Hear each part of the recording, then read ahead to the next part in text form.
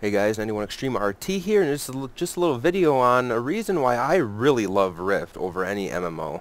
Um, this game rewards you for exploring places, and I was out fishing, and I, I just randomly went for a swim out in the middle of the ocean out here, and this is pretty far out. It's about a 5-6 minute swim out. It's pretty far.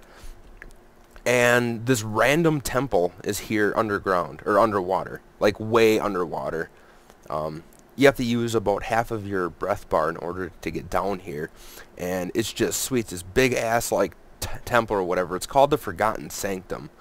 Um, and it's just sweet as hell. Like I, I got a couple party members out here right now and there's a bunch of other people coming to check this out because no one's ever seen this before.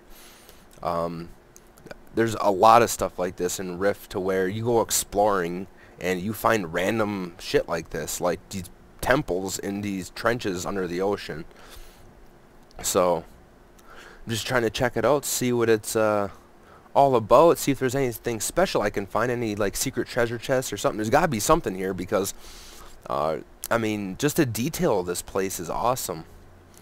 Like, that looks like a big door or something, and, you know, just the detail that went into, you know, designing this place. There's got to be something special here.